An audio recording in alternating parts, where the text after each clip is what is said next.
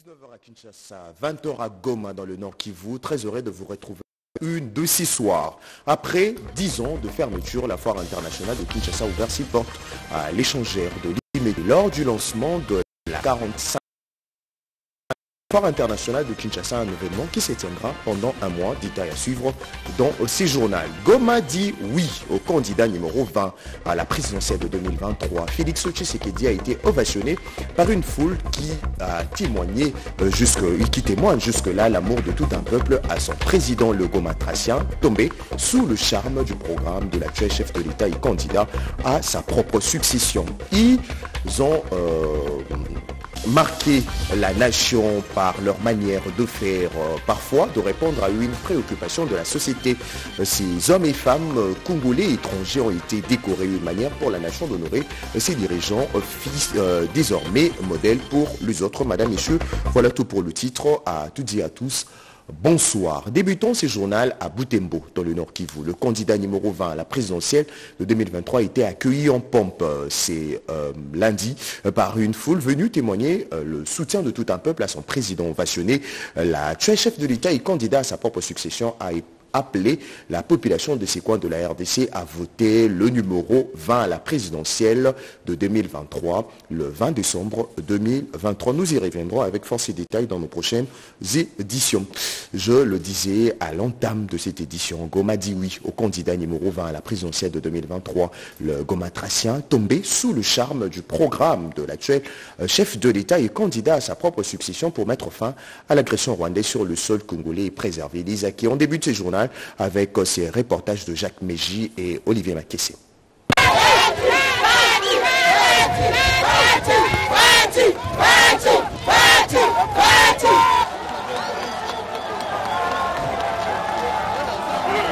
20 décembre, jour de scrutin en République démocratique du Congo, approche à pas de géant. Le chef de l'État, candidat président à sa propre succession, Félix-Antoine Tshisekedi Chilombo intensifie de son côté sa campagne électorale dont la frénésie et l'enthousiasme ne se sont pas arrêtés à Kinshasa. Le stade Afia à Goma, chef-lieu de la province du Nord Kivu, complètement débordé, refoule du monde. L'électorat de Goma vient de lancer un signal fort à l'opinion tant nationale qu'internationale ainsi qu'aux adversaires du numéro 20 sur leur choix à l'élection présidentielle. La population a bravé la pluie pour démontrer son attachement au ticket de l'Union sacrée à qui elle promet un second mandat. Sur le podium, Félix-Antoine Tshisekedi Chilombo, candidat numéro 20, soutenu par Denise Nyakeru Tshisekedi, première dame de la République, harangue la foule surexcité. Son message est clair, il a commencé la lutte contre Paul Kagame qui soutient les M23 et compte les neutraliser tous et libérer les Congolais victimes des affres de la guerre. Il a créé la réserve de la défense de l'armée où doit être tous les Ouazalendo pour défendre la patrie. Nous avons nommé le coordonnateur de cette réserve de la défense. Il y a notamment le général Padiri, un fils du pays qui a montré son amour et son sens du sacrifice pour son pays. Mais j'ai besoin de vous voir pour qu'on continue le combat de libération de notre pays. Je vous promets que ce combat va continuer et nous allons débarrasser notre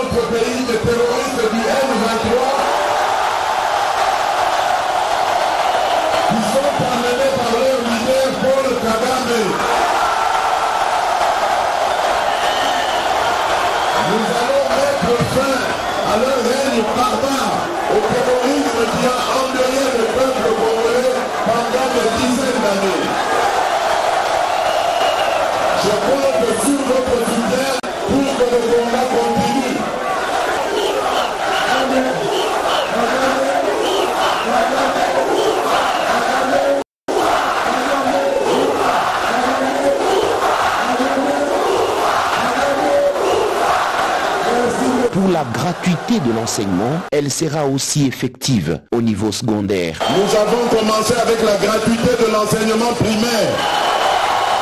Au cours du deuxième mandat, je m'engage à apporter la gratuité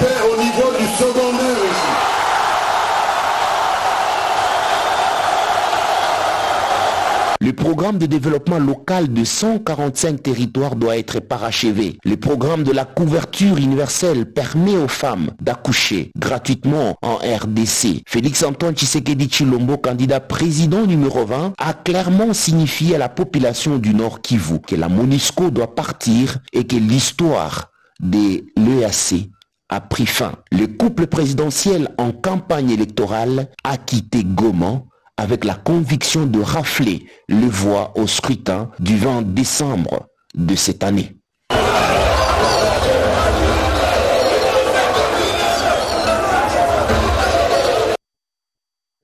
Dans ces coins de la RDC, le propos tenu par le candidat numéro 20 à la présidentielle de 2023 en réjouit le cœur des habitants de cette province de la RDC venus écouter Félix Tshisekedi, candidat à sa propre succession. Je m'engage à apporter la gratuité au niveau euh, secondaire, a déclaré le chef de l'État, Pierre Kibambe Somoy.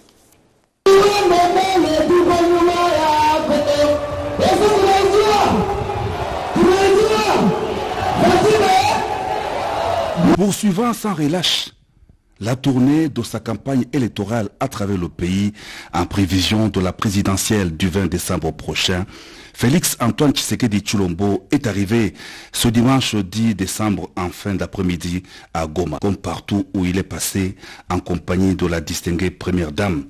C'est la joie, la fête. Sous une pluie battante, Goma s'est mobilisé pour communier avec le champion, le candidat numéro 20.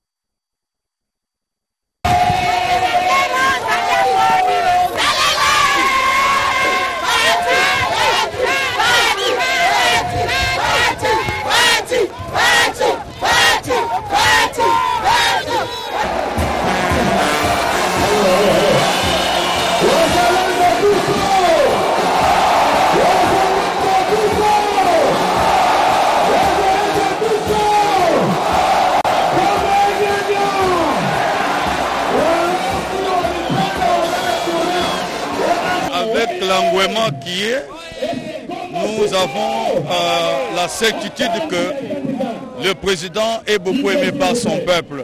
Il y a tellement l'engouement et le président est beaucoup aimé. Nous avons la certitude. C'est lui notre candidat.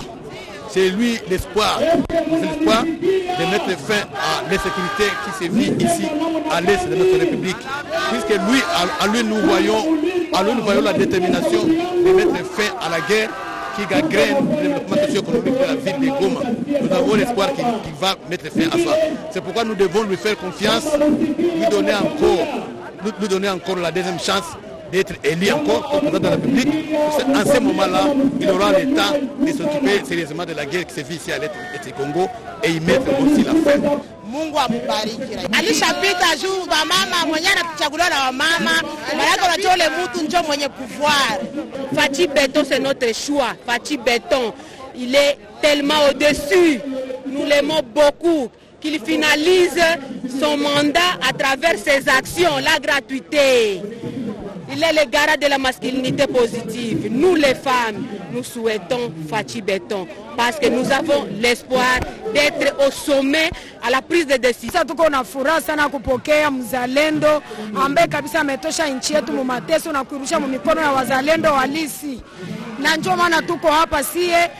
Nous voulons élire quelqu'un qui va nous aider parce que la population de Goma a dit non, qu'il faut nous souffrons trop. C'est Fachi Beto, je sais qu'il va changer les choses.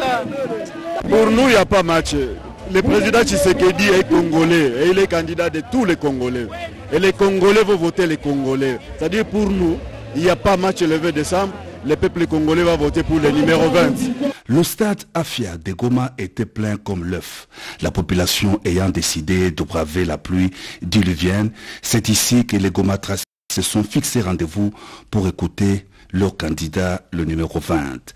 Tshisekedi, la solution à la guerre à répétition dans l'est de la RDC, scandait la population en liesse.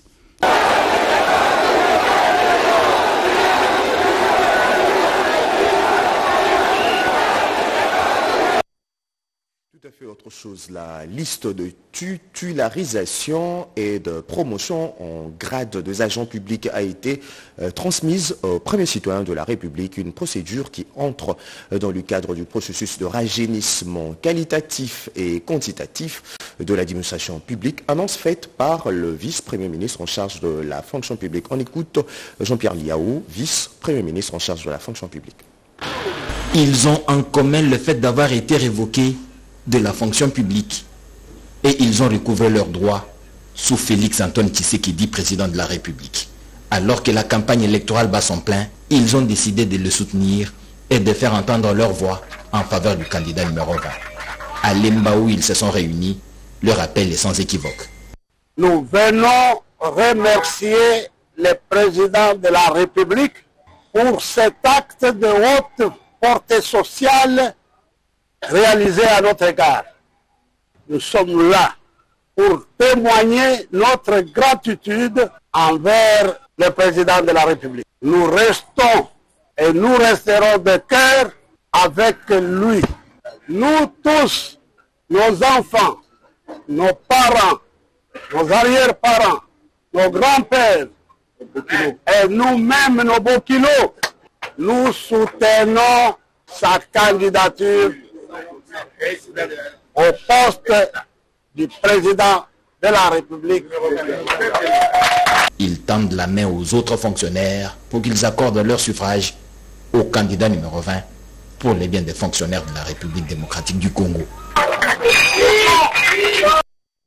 Vous avez suivi avec nous euh, la rencontre de retraités de l'administration publique qui soutiennent la candidature ou qui soutiennent la réélection de l'actuel chef de l'État à la présidentielle de 2023. Et puis cette recommandation tenue par le gouverneur militaire de l'Itourie aux hommes en uniforme attachés à la protection des élections de 2023. Nous sommes tous le Congolais, vous devez être au milieu du village et protéger tout le monde, a déclaré le lieutenant général Johnny Luboya Kanchama.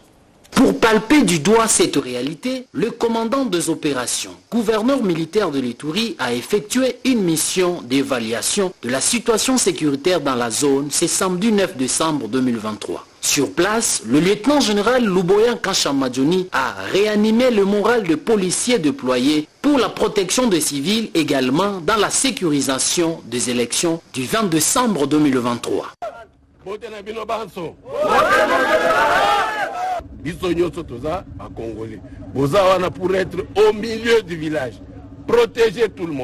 Avant de s'envoler pour Bounia, le gouverneur militaire de l'Itourie a tenu un meeting populaire où il a appelé les habitants de Tchabi, Boga et ses environs à privilégier le pardon et la réconciliation en vue de pérenniser les acquis de la paix. Et c'est là avant de réitérer l'engagement du commandant suprême des forces armées et de la police nationale congolaise, Félix Tshisekedi Chilombo, celui de défendre l'intégrité du territoire national de la République démocratique du Congo en général et en particulier la province de l'Itourie. Basoda mingi mingi mingi beko wanakuya hapa. Watakuwa kuleta amani watakuwa kumsekurize hapa. Mutaenda mama mashamba yenu kimya. Hakutakuwa mtu hata mboya atakuwa kuwauzi hapa.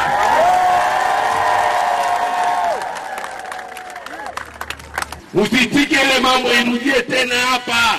Mimi najua se watoto ya chabi walifanya waliteseka sana. Tusameane Chabi ni mugili mzuri sana, naleta mbele bapolisie kidogo tu ni juu ya election. Uraiko Ces messages du premier citoyen de la province a trouvé un écho favorable au sein de la population. avec euh, accompagnement na biso frdc ekolo malamu awa na chabi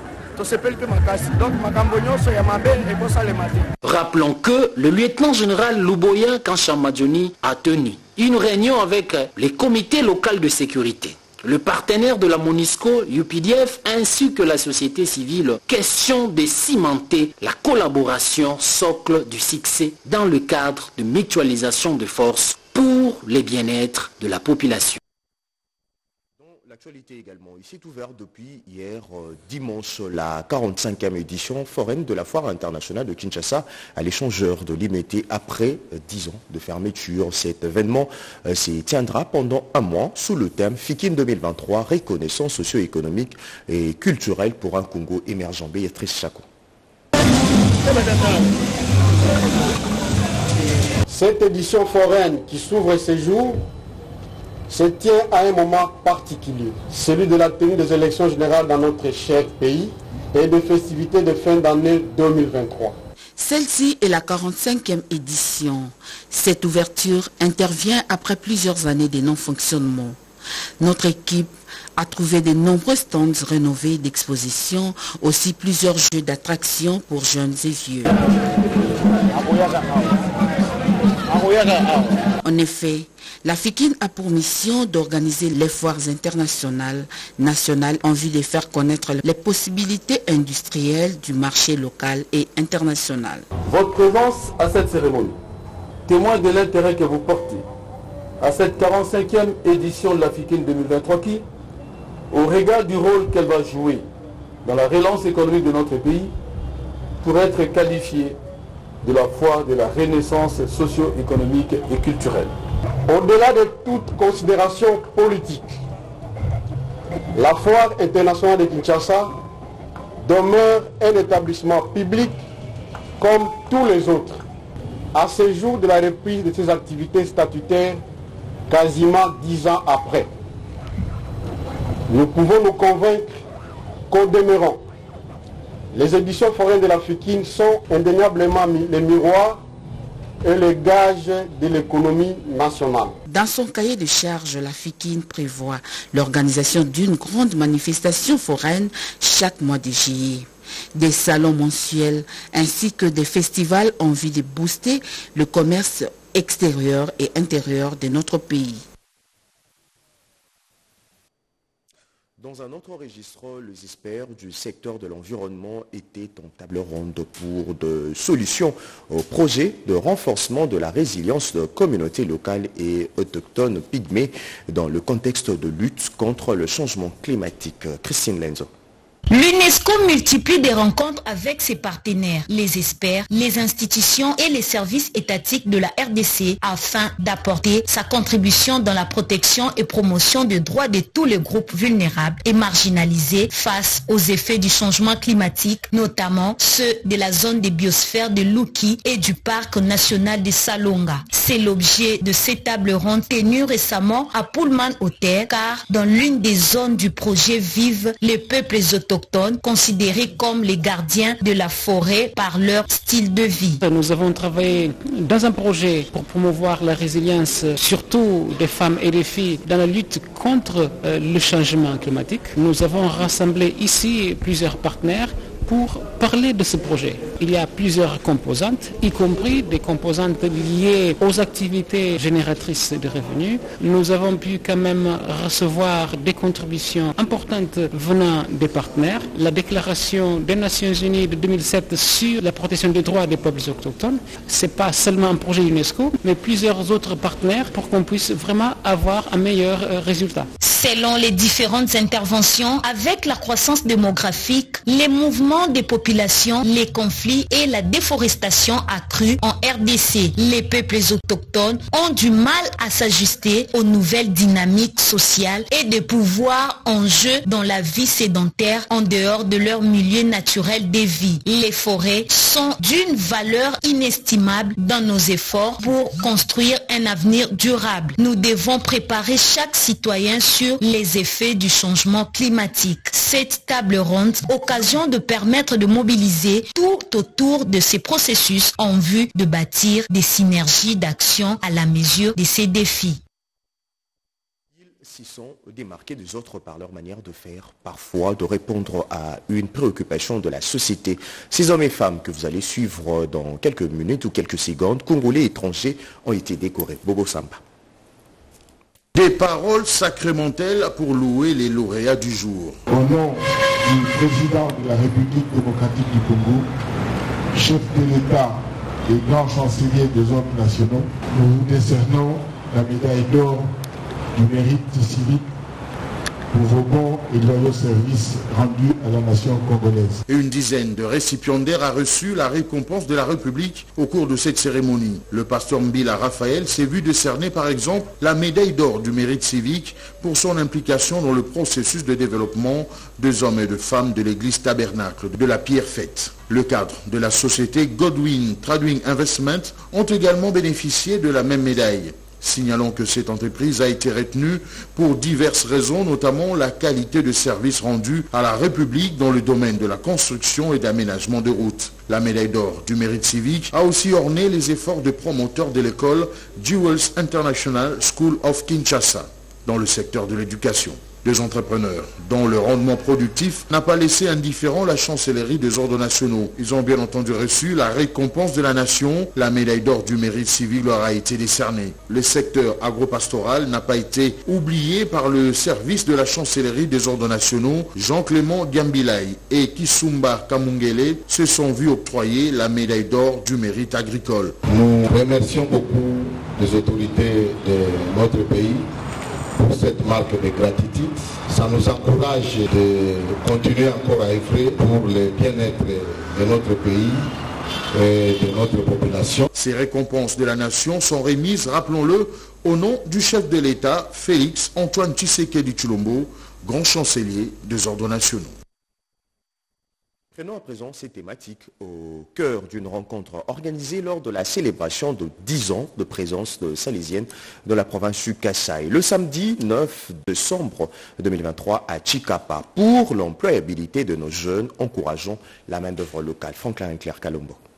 C'est par une célébration eucharistique que la communauté salésienne de Don Bosco a fêté 10 ans de son existence dans la province du Kassai, plus particulièrement dans la ville de Chikapa, où ils sont à la tête de l'Institut technique et professionnel Olive Lembe pour l'encadrement de jeunes à travers la formation technique et professionnelle.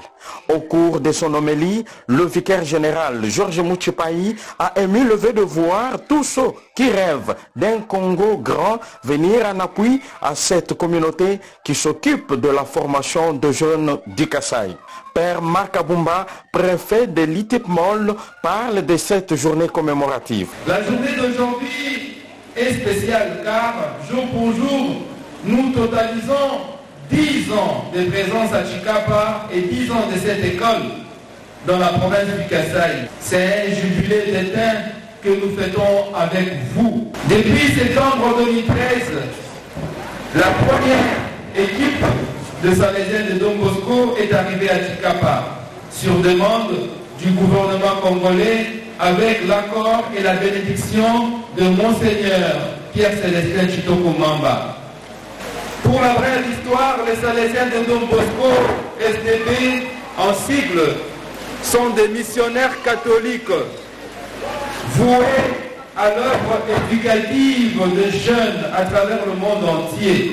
C'est dans ceci qu'il a plu au gouvernement congolais de solliciter notre secours pour l'encadrement de jeunes de la province du Kassai et de Chikapa en particulier.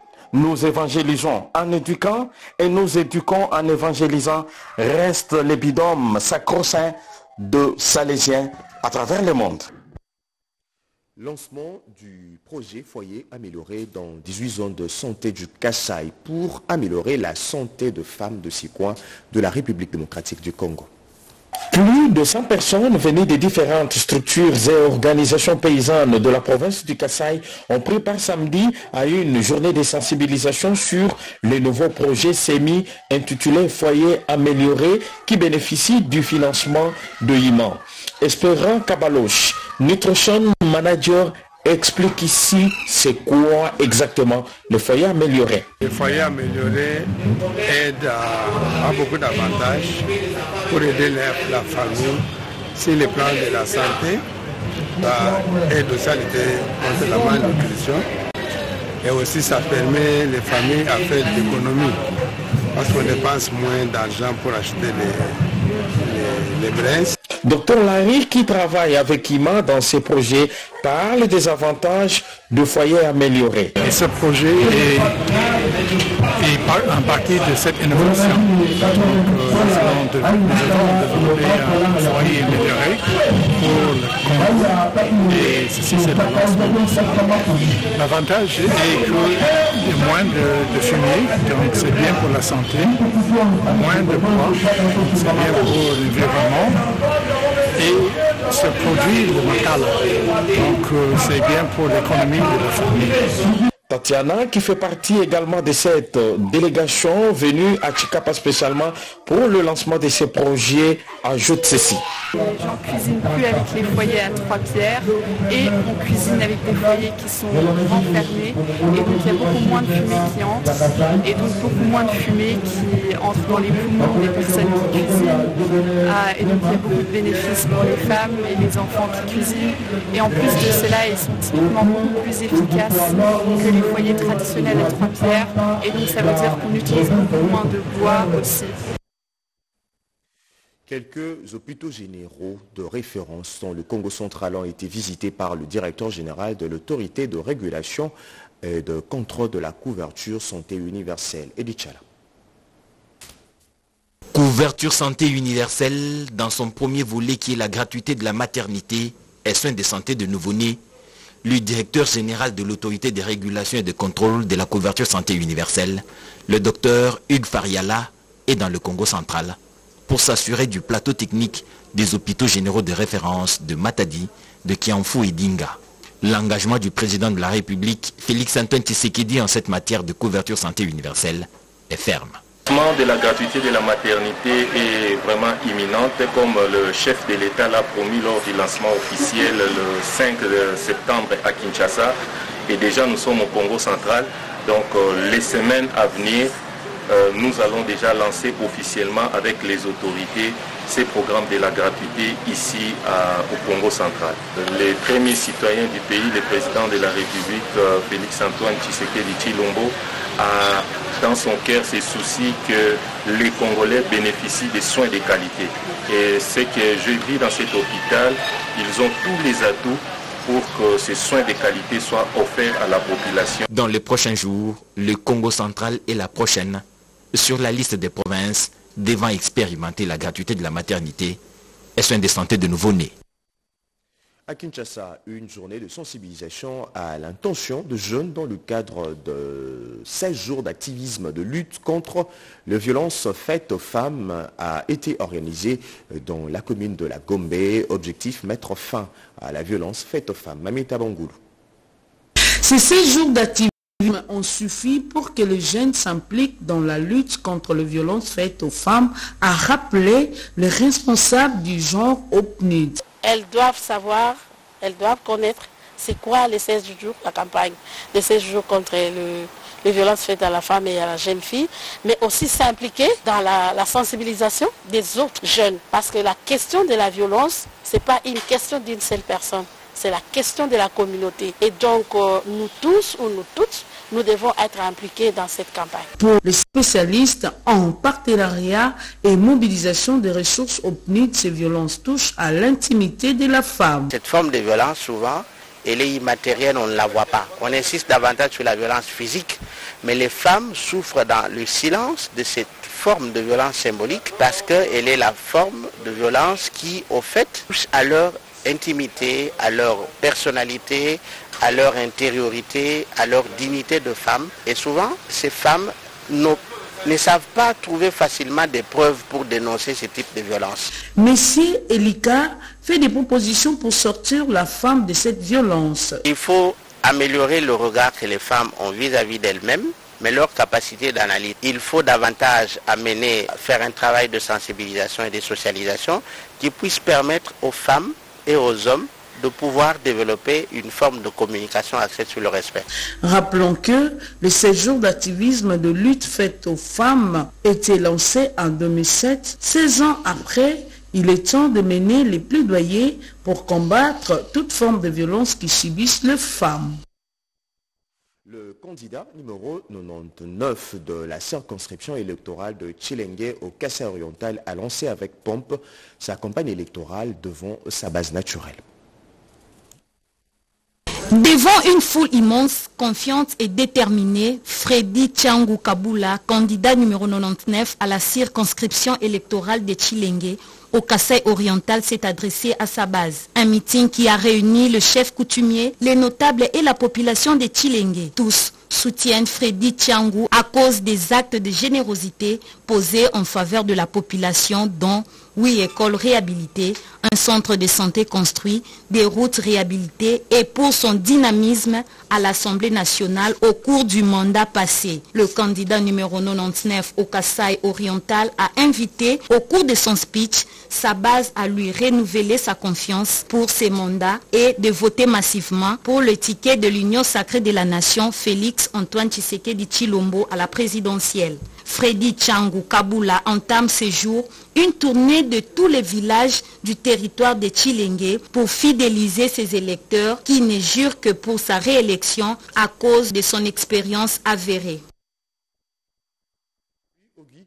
Candidat numéro 42 à la Tchangou et 7 à la députation provinciale dans la commune de Lansele, range déjà le trou pour la réélection de l'actuel chef de l'État Félix-Antoine Tshisekedi à la présidentielle de 2023 le 20 décembre 2023. Voilà qui met fin à cette édition de la rédaction coordonnée par Cédric Kenina, réalisée par André Nzeka et Monique Mavungu, assisté de Henri Alimassi et d'Éric Silimo. Retrouvez Françoise Bouela à 20h de Kinshasa pour de nouveaux titres d'actualité. Je vous retrouve demain à 13h et 19h. À très bientôt.